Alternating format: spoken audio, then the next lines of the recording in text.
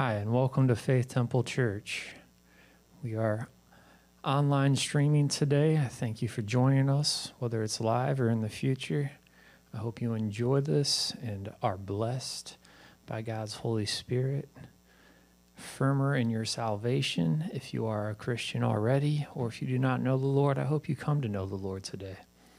That is our prayer. I thank you for your support. And uh, we're going to open with my lovely wife singing a beautiful song. This is Amazing Grace.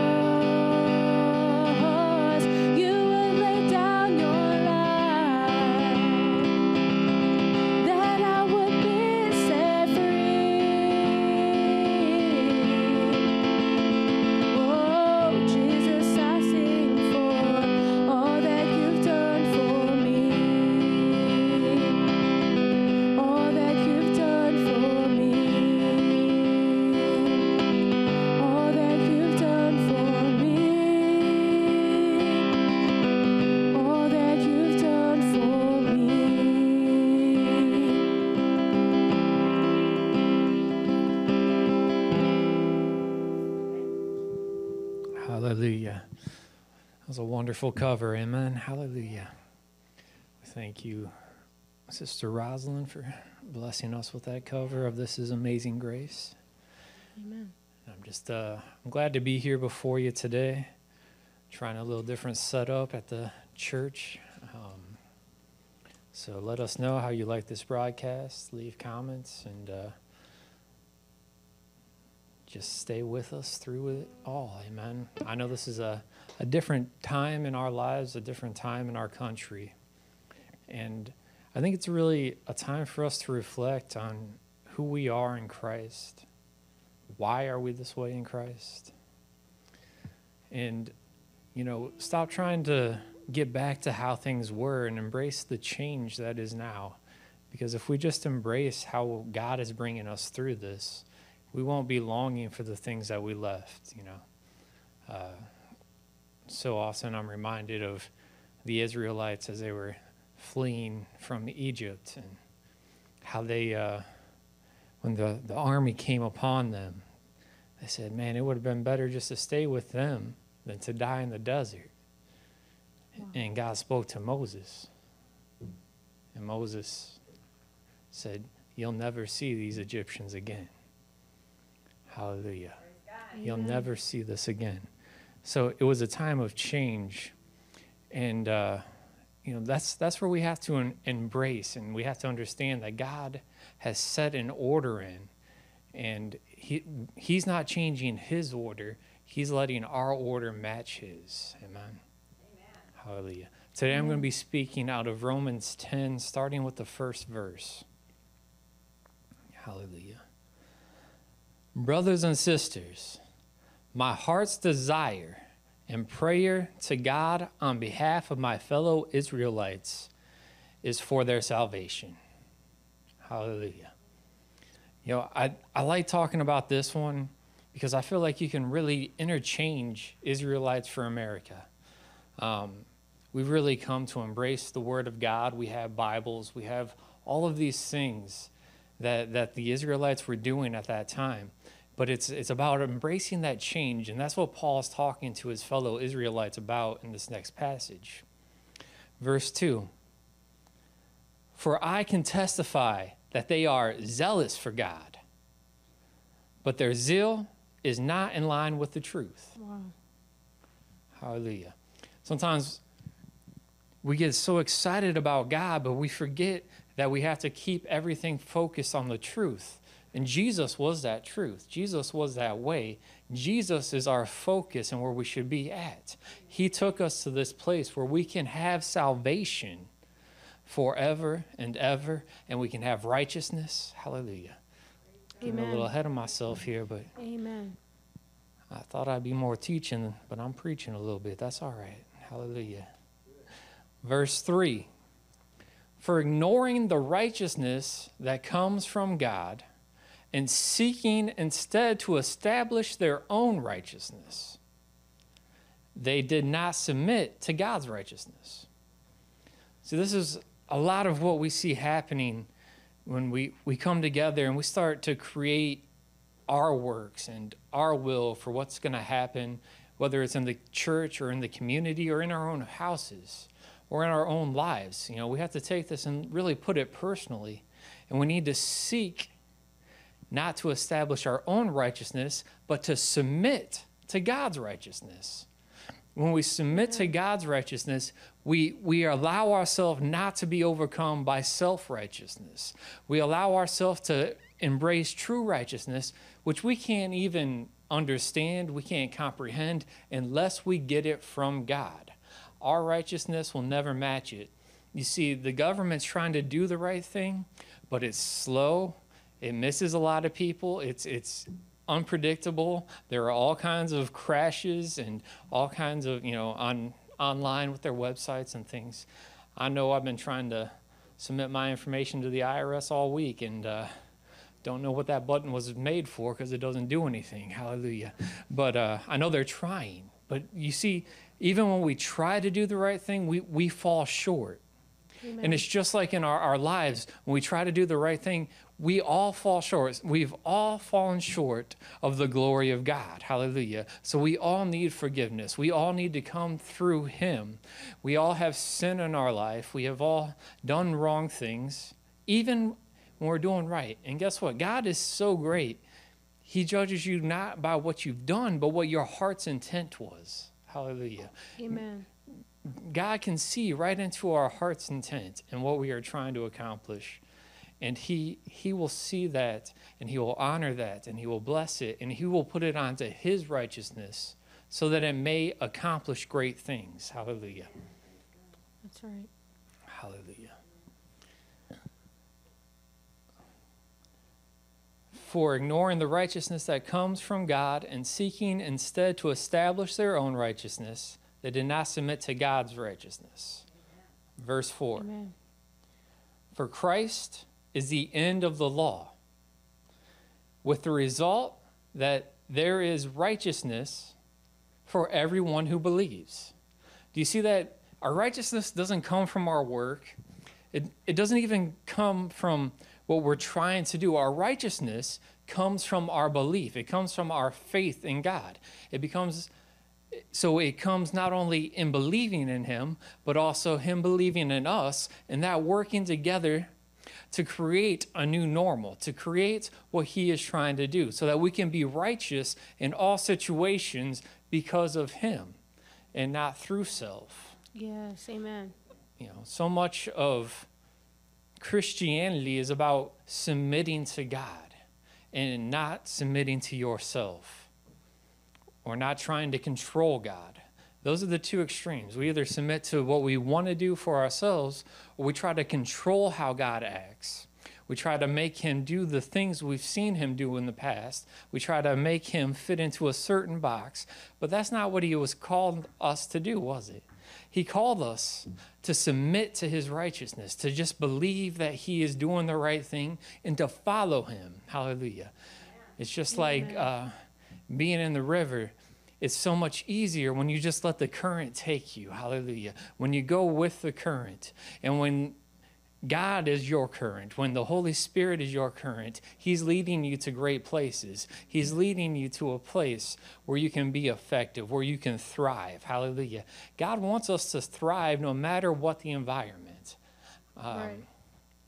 we don't, as Christians, you don't need a good economy to thrive. But let me tell you, as a Christian community, because if we become submitted to God's way and His righteousness, His righteousness brings thriving. So it's impossible to have a bad community when we, or a bad economy or a bad community when we submit to God and not our own will, not our own ways. Hallelujah. That's right. Hallelujah. It's nice having the pastors here backing me up on the front row. I've only got two members in my audience and some in the back behind the scenes workers here. Hallelujah. We're running a little skeleton crew today to bring this word to you, but it's it's good. Hallelujah. Hallelujah. We're going on to verse 5 here. Go back to the Old Testament here. Uh, still in Romans, but for Moses writes about the righteousness that is by the law. The one who does these things will live by them. Hallelujah. It's Leviticus 18:5 is what he's quoting there.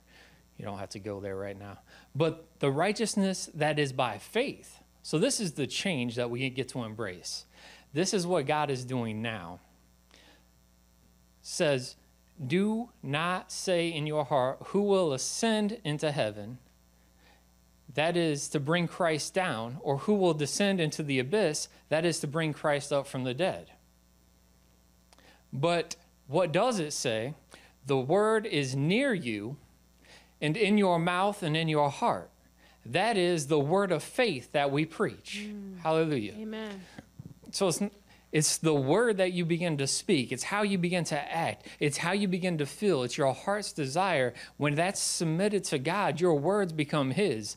That's uh, that's why I find it so much easier to stand and talk about the Word of God than I do about any other topic in the world, because my heart is submitted to God. My actions don't always match my heart, But God judges you by your heart, and that's where grace kicks in. And grace is that, that work of salvation. Grace is to get you to a point where you are more like Christ than you were yesterday. Hallelujah. It's a dying out process, and sometimes it's a going back process. But let me tell you, never stop the process, and that is how you live as a Christian. It's hallelujah. Amen. Sometimes we make certain things taboo in the Christian community, but let me tell you, God is the one that gives us righteousness. So it's by His sanctification and His process. And He can get us out of everything. He saves us from anything and everything that comes into our life. It doesn't matter what it is. Hallelujah. Right. He has grace that is sufficient. It says, That's where right. sin abounds, grace abounds that much more. Hallelujah. Amen. Isn't that so wonderful that He set it up for us to succeed? He set it up for us to go forward. He set it up for us to do great things. Hallelujah. Amen. The Word is near you, in your mouth and in your heart. Remember that. The Word is near you. We need to keep His Word with us. Hallelujah. Keep it on your cell phone, keep it on your tablet, keep a, a paper copy. However, you like to read, make sure you have the Word of God near you. If you need a little testament, talk to a Gideon, they'll get you one. Hallelujah. Yes. Keep the Word of God with you. Amen. I love electronics. You can see I'm preaching off my tablet. I do my Bible studies on my tablet. It is easy. It is on my phone. I have the same app. Hallelujah. I keep the word near to me so that I never have an excuse that I shouldn't that I can't read right now. Right. Hallelujah. But I can always still a moment because it's near me. I can always speak it to someone else without quoting chapter and verse sometimes. If it's in a normal conversation, I can still speak the word and give the wisdom of the word to someone. And they may never know that I'm speaking the word of God to them. But it's wisdom that is surpassed mine because I understand there is a wisdom, a knowledge, and an understanding that I can't offer the world, but the spirit inside of me can. Hallelujah. Amen. When I received that, that Holy Spirit, it began to live inside of me, and then it began to overflow with living waters that can bring life to your spirit and give you the Holy Spirit. Because I freely received it, so now I can freely give it to you. Yes. Hallelujah. Amen. And you can you don't have to be here in this building. Hallelujah. I believe this anointing is being felt all over the world right now. And I believe if you need the Holy Spirit in your life, you are mm-hmm. going to receive it today.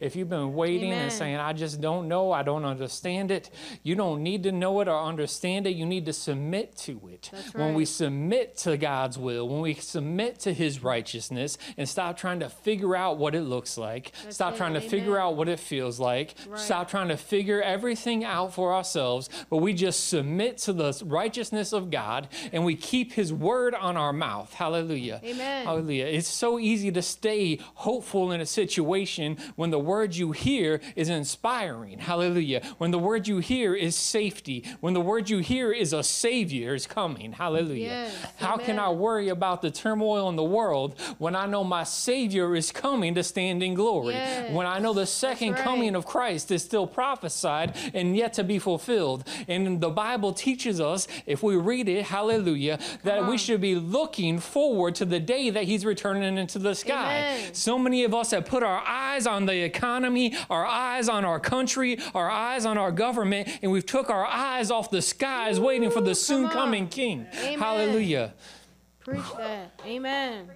I didn't Good didn't think I was going to go back there, but if you put this message with last week, you'll see that it lines up. Hallelujah. You'll see that God is doing something. He's showing himself in his glory to his people at this moment. He is showing us that he is real, he was live, he is powerful, and he loves us. Hallelujah. Hallelujah. Sometimes I don't think I preach on his love enough. Hallelujah. He loves you. Hallelujah. That's why there is grace. He loves you. He thinks you're worth it. So it doesn't matter if your partner doesn't think you're worth it, if your brother doesn't think you're worth it, if your family doesn't think you're worth it. It doesn't matter Hallelujah. what people think. Submit to God and find your worth in God and see that He'll never say you're not worth it. You're not worth saving. You're not worth bringing to the next level. You're not worth being part of my family. He'll never say that to you. He'll say, We'll work through it. He'll say, We'll never give up on you. On. He said, I'll bring you salvation no matter what is coming your way. Hallelujah. I don't care about your past, saith the Lord. I care about your future. and I am Yes, providing a future for you that is full of my glory, my power, and my miracles. Yes. Hallelujah. Hallelujah. Praise God. Hallelujah. had to speak into someone's soul because someone out there right now is dealing with depression like you've never felt it before. Hallelujah. That's all right. It's okay. Christians get depressed. I understand it, but keep the word near you. Don't feed Come on, things that are bringing you back to that right. same moment of depression, but feed on the word of God that will bring you out of depression, that shows you love. Find his love in his word. Find his love in your prayer time. Find his love in your in your music. Hallelujah. So many of you don't think about the music you're listening to, but I'll tell you right now, if you start on, listening to come on. inspiring music that brings the spirit of God into your life, Ooh, then you will start to Hallelujah. understand what God is, who He is, and what He's going to do for you because He brings love into your life. He brings joy into your life. He will get you through your situation. Hallelujah. Yes, that's right. Yes, He will. Hallelujah. Hallelujah. God is trying to change your situation right now, but a lot of us are waiting for our situation to change. Wow. We need to submit to God's righteousness and see what it is what is right to be doing right now. What is right to be talking about right now? What is right to be feeding on right now? Hallelujah. Hallelujah. It's so easy to find someone saying, I'm rewatching my favorite TV series. I'm rewatching my favorite movie series. I'm rewatching this. But I haven't heard no one say, I'm rereading the New Testament. I'm rereading the Old Testament. I'm on. rereading Proverbs. I'm rereading Psalms. Yes. I'm going back and listening to some of my favorite messages on the internet. I'm going back and listening to some old cassette tapes that I just had to hear again. I'm going back and finding God when I knew Him and I forgot what it was when we first fell in love. Hallelujah. Because I fell in love with God and He fell in love with me. And guess what? He wants to fall in love with you too. So let's get back to our first love. Let's get back to finding who He is. Let's get back to prioritizing. You got some free time. You you've been saying, if I had more time, I'd do more for the Lord. But what have you done for the Lord during your free time? Hallelujah. Hallelujah. This is not the message I had prepared, but this is the one God's bringing forward. Hallelujah. Thank you for your spirit, Hallelujah. Lord. Hallelujah, Lord. God is calling us to work for Him. God is calling us to find His peace, His love, His joy, His provision. Hallelujah. Hallelujah. Whew. That's right. Holy Spirit. There's a lot of people out there that are so mm. worried about provision they can't even see God's hand. Wow. They're so worried about the government providing for them. They're so worried about what they've built, what they put their life into, that they can't see that God will still provide if they will just turn back to Him and turn away from the things that they established. See, we think this is only talking about how we worship God either through the law or through belief. But no, He's saying, put your trust in my righteousness, put your trust in my hand, put your trust in my provision and see that I will bring you through any storm. Hallelujah. Amen. He is there for you. Hallelujah. Hallelujah. Stop thinking things can only work out through the natural and through what's familiar to you. It wasn't familiar to Peter to pull a gold out of a fish's mouth, Come but on. it sure did, and it sure covered his needs. Hallelujah. Come on. That's right. Hallelujah. Sometimes we're so concerned about our wants that we forget about our needs. Hallelujah. Wow. So many times we're, we're seeking for what we want. Well, I want this business to succeed. Well, what do you need in your life right now? Because if you let God do it, you'll have success in every area of your life. Stop neglecting those areas. That's what God's calling you to right now. That's why God stopped this economy. Hallelujah. Come on. Preach the That word. statement might get some backlash, but I'll tell you what, God's got your attention right now. He Hallelujah. does. Come on. Hallelujah. And if we put our trust back in Him, you'll see that the economy God creates is stronger than one than any president, any government, any people could create. He is a God of provision. He is the God that does all things for all people. Hallelujah. Amen. If we just trust and believe in Him. Hallelujah. Hallelujah. Thank you, Lord. Verse 9. Hallelujah. Because if you confess with your mouth that Jesus is Lord and believe in your heart that God raised him from the dead, Amen. I just, there's a comma there, so I'm going to take my time with that comma. Because I want to tell you, we have to believe. Why do you believe in God? Do you ever ask yourself that question? Because I guarantee you, if you start talking about your God, someone's going to ask, How do you believe? How do you know God is real? How do you know He exists? And each of us that are believers have a reason why. That's right. I mean, for me, it's it's my relationship with God. It might be hard for me to explain that to you, but there is no way you could tell me I don't have a living, working relationship with God. I have a relationship with God that is similar to my relationship with my wife. Hallelujah. Amen. He is part of my day. He helps me make decisions. Hallelujah. Amen. Just like my wife. You know how we got to this today? Because I was talking to my wife last night. I said, what, what song you singing first? I said, That's right. That was Spirit right there. I knew right where I was going to be in the Word as soon as she spoke. Hallelujah. Because I took time to ask her. I took time to seek and find, because God gave me a helpmate, and it'd be foolish for me not to use her as that. Hallelujah. Amen. Just like she uses me to help her. Hallelujah. In different aspects, both spiritually, physically, and financially. Hallelujah. Amen. Hallelujah. And mentally. Hallelujah. So, really, we must confess with your mouth.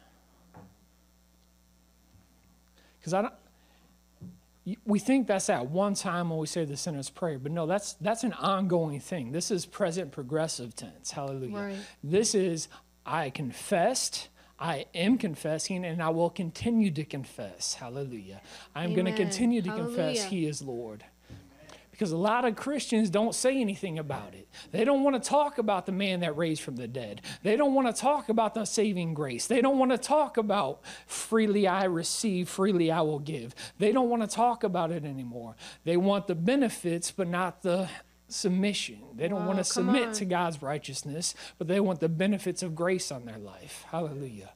And I'll tell you what, I don't know how that's going to work in Bema or in front of the judgment throne. Hallelujah. I don't know how that's going to work out for you because I have to keep confessing Him because I know I still need salvation every day. I still need a Savior today and I'll need a Savior tomorrow. And if you don't, go, tell me how you did it because I don't understand how you don't need Him every single day of your life. Hallelujah. Amen. Hallelujah. Hallelujah.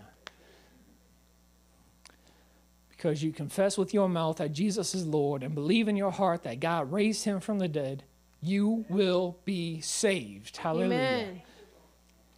Verse 10. This is where I'll conclude. For the heart, for with the heart one believes and thus has righteousness, and with the mouth one confesses and thus has salvation. So it's through our belief in our hearts, hallelujah, that we obtain righteousness. That's why we must submit, hallelujah. Amen. Just like I submit to my wife with my heart, and she submits to me with her heart, Amen. we also have to submit to God, hallelujah. And He also submits to us, hallelujah. And that is a relationship that I'm talking about. That is why I believe He exists. That is how I know He exists. Hallelujah. Amen. Well, thank you for being with us today. Um, I would like to remind you this is the time the church is not having services, so there's no offering basket, there's no giving that has been going on in our building. Hallelujah. So all of our support has to be brought in either through the internet, through uh, our giving on our website, hallelujah, faithtemplebg.com or .org. hallelujah. It's on the screen. Go to the screen, not me. Hallelujah. And you can mail it also to 175 State Street. That is the, the church. Hallelujah. Make your checks payable to Faith Temple or money orders. Hallelujah. Um, and Bowling Green, Ohio, 43402. Hallelujah. I tell you, I just uh, assume people know where I'm at. Hallelujah. So I thank you for being with, with us today at Faith Temple. We're going to send your prayer requests then. If you have prayer requests, you can put them, uh, send us through Facebook Messenger. You can send it through our email account on the website. We are working to get a whole dedicated page for prayer requests in this near future. So pray and help us uh, send some support in so that we can continue to grow and facilitate forward in our online ministry. Hallelujah. Even when things get back to normal, we'd love to keep reaching and interacting with you online.